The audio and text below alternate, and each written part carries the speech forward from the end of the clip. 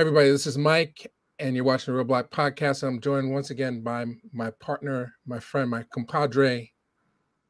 What's happening, y'all? EP here once again with Mike and the Real Black Experience for you. Who we got, Mike?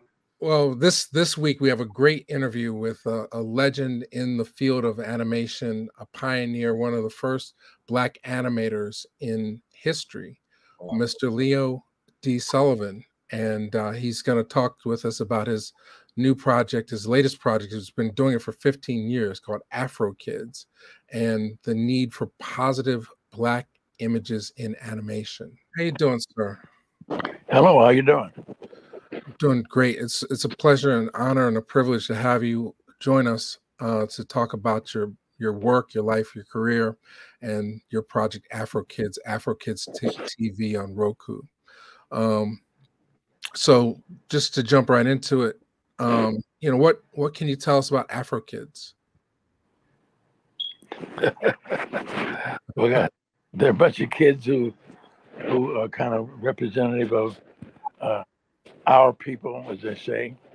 And uh and the whole idea is to have uh, positive images of uh, you know black characters on the screen uh, solving issues that deal with kids, you know, parental guidance, uh, learning self worth, uh, the challenges of life, uh, how to, you know, growing up, the issues uh, that they face, and then the happiness that they can have, and how they emerge themselves into the society.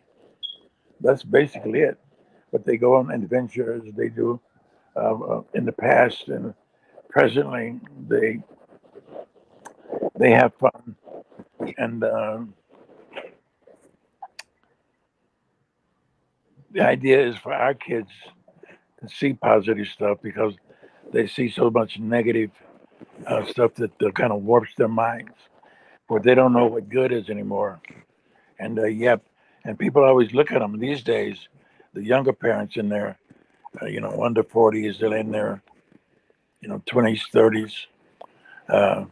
Uh, or younger uh, don't realize what's going on. And they hand their kids off to the system. And when they do that the system does what it does. And that's nothing.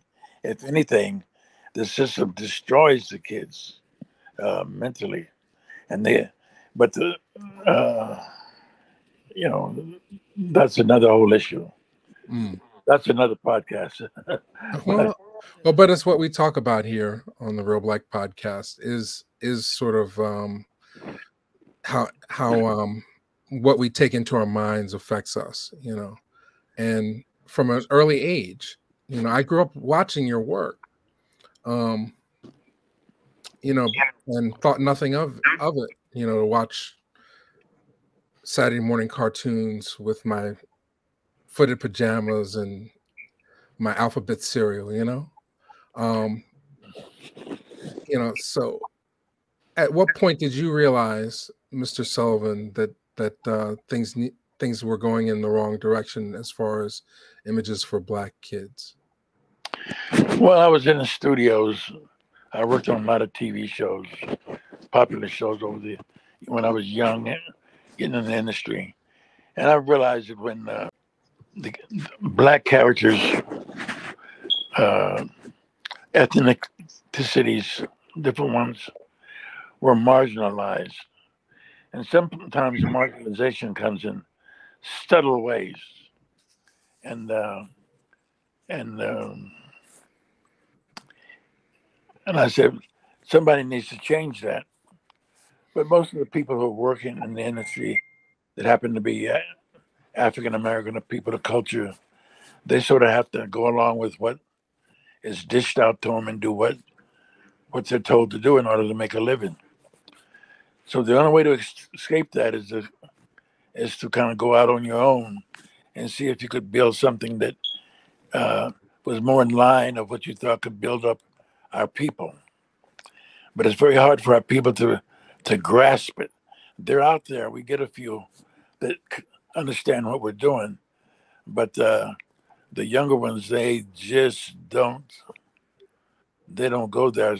It's like someone told me the other day. Uh, they want to see happy things.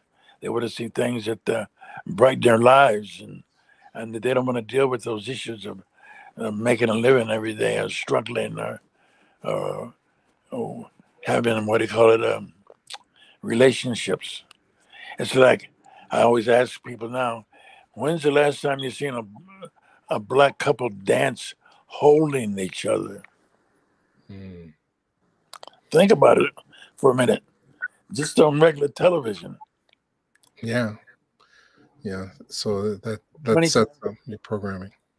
How many times have you seen uh, uh, them hug their children or or take out time to listen to what the kids have to say? Mm. Those are issues.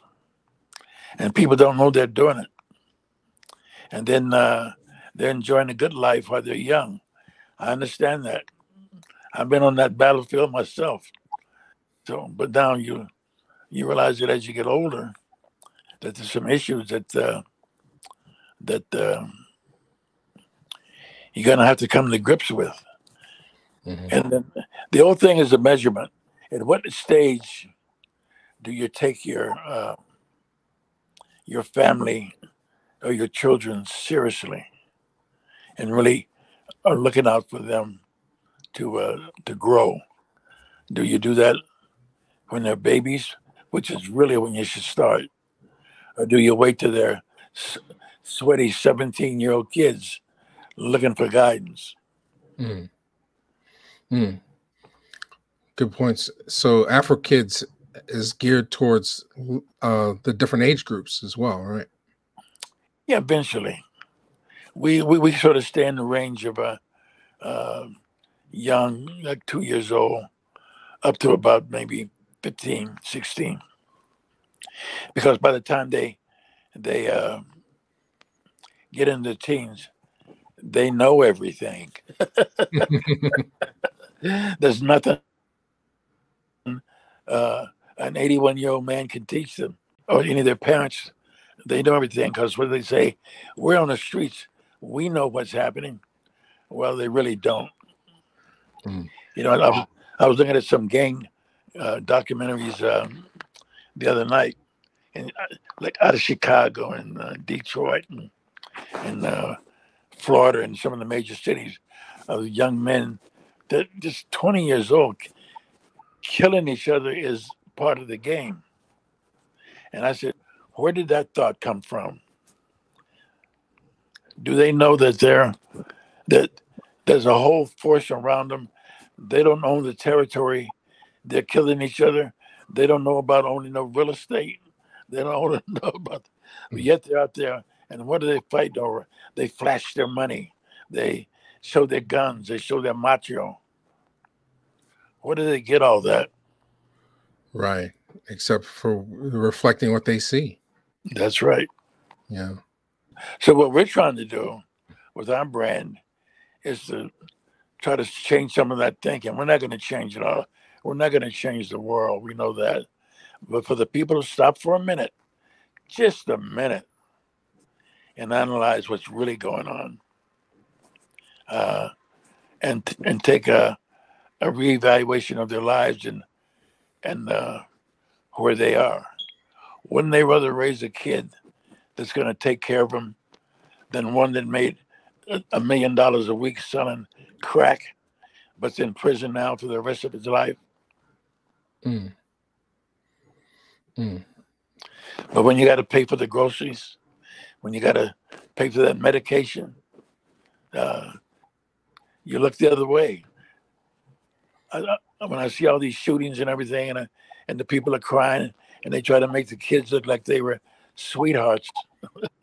The hmm. parents know what their kids when they leave the house and they come back at four in the morning or two days later, and you don't ask where they've been, you got a problem. Right. So Afro Kids is there to help stop this before it starts. Hopefully. Yeah, you got to start when they're young, and uh, and we need more support for people who believe in us to support what we're doing because as you know, um, as they say, the other side are not, is not going to give us much help Right. up, uplift ourselves. That's something we have to do collectively, young, old, and one foot in the grave. I go back to, um, gee whiz, there's so many shows. You have to look me up on IMB. Is it, what is it? IMDb. Yeah, look me up on that to, see my history of basic stuff uh, of what I've done over the years. but there really were certain segments of my career of advancement. Uh, Mhm. In 19, was it 60? Whenever the the the uprising, the Watts riot started, I was uh, Right. like em- emerged out into the the wilderness on my own. So I went out on my own and started my own studio called uh, Vignette Multimedia, which you'll see on some of the titles of our of our products that we've rejuvenated to bring it to the present audience. So a lot of the kids don't know that that history and what's come before them. And why I stay out here, even at my age, is so they can see uh, when they look at me as an old man.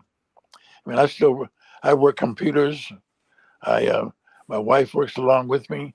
Have us make make the content. We we work with young musicians, artists, and everything, and uh, and and uh, to create, manufacture some of these things. Uh, but we need the support of our people. Our people don't support us like they should. They think all this magic, what we do, is just ether. And all hmm. they got to do is just contribute to our Patreon account or buy some equity in the company or invest Right. or donate. We have a foundation. So we have a we have a California corporation.